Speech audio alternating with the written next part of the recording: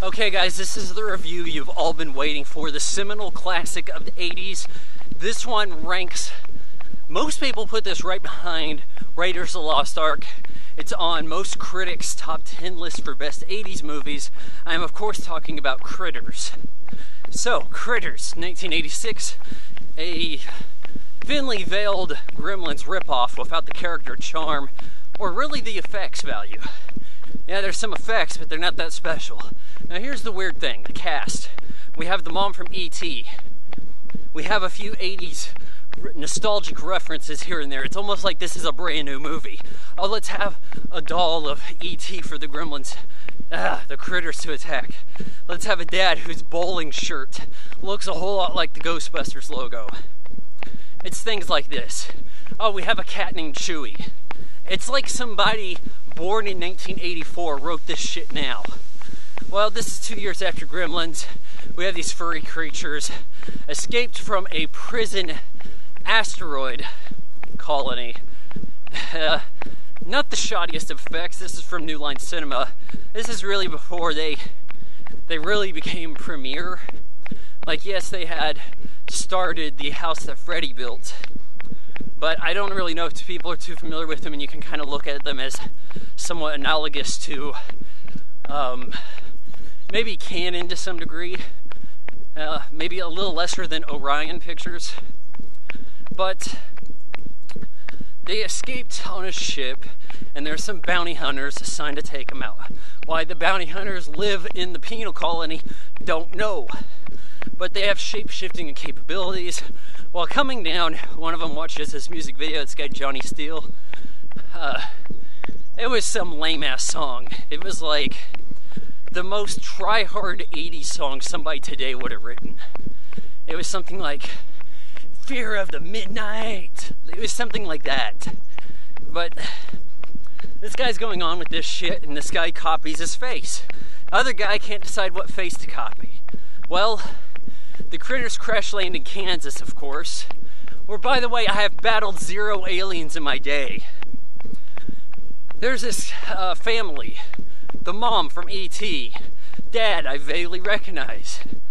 Well, lead son, I'm just gonna call him son, he's into some firecrackers and shenanigans. They have a hand that helps out on their farm, I suppose.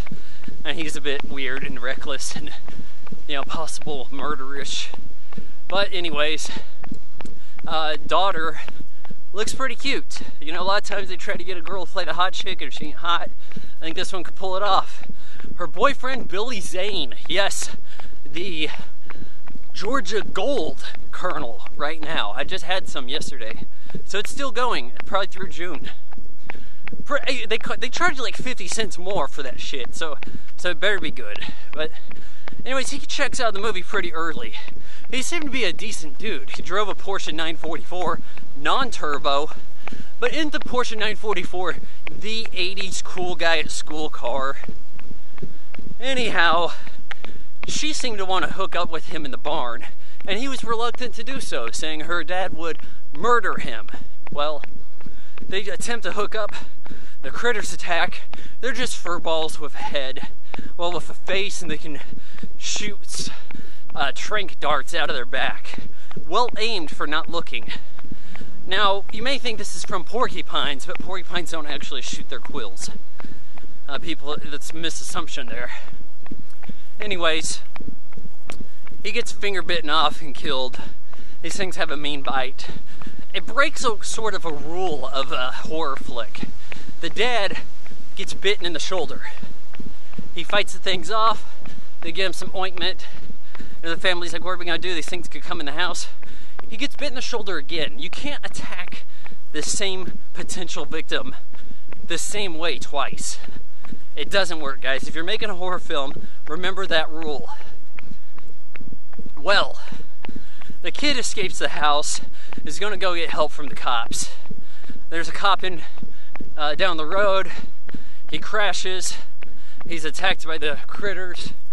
I'm thinking this guy looks kind of familiar. Hey, it's Neelix from Star Trek Voyager, Ethan Phillips. And I just saw him in another video on YouTube that said Star Trek uh, and actors who were also in Star Wars.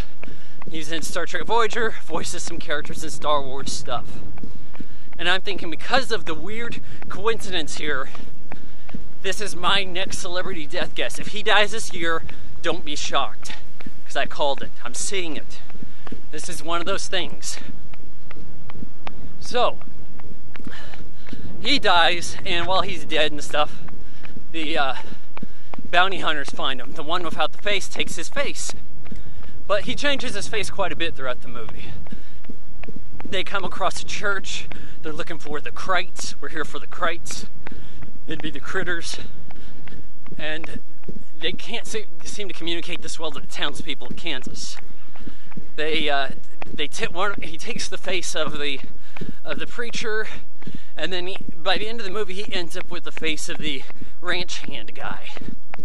Well, the kid comes across them. It's like, hey, who are you guys? Aren't you? No, you're not them. What? You're Johnny Steele? No, you're not. Hey, we gotta help my parents, anyways. Well, the sheriff of the town was like the, the captain of the police or something in Blade Runner. Yeah, he was in Blade Runner. What are these people doing when they're on like a high note? going to a movie like this? I don't know. Well, they got these like pump action shotguns that kind of look like wide brim water cannons. They use these things to shoot the critters. They blast enough of them. Critters escape into their spaceship. The kid puts his firecracker in there because you know we had to get something useful out of him being a pyromaniac. Well, for shits and giggles, the critters just blast their house. Boop, laser, blow up the house. But then their ship gets blown up. Well, they're talking to the bounty hunters at the end. The, the Johnny Steele one's just like, call us or call me or something. Hands the kid like this slim iPhone of the future. They're about to fly off, it's the next morning, whatever. The kid, everybody's going by their house. Chewy the cat's perfectly fine. The kid just gets this idea to push the button on, on this device and it rewinds their house blowing up. This is actually a pretty good effect. I'm not entirely sure how they did this. I'm assuming they uh, filmed the house collapsing or blowing up and then just rewound it. But we saw that in the at night, right? So is that a miniature? So this it's not a bad thing. I'll tell you that. Uh, I think there are four Critters movies. If you guys are interested in me making this into a review of the series, let me know. I will probably go on to A Nightmare on Elm Street next, as the good folks at Hulu added just about every movie from that franchise. However, I think there are two that are on Netflix, so I can switch between. But let me know, do you want me to finish Critters or go straight to Nightmare on Elm Street. And yes, of course, I was joking at the start of this. I give Critters two out of four stars.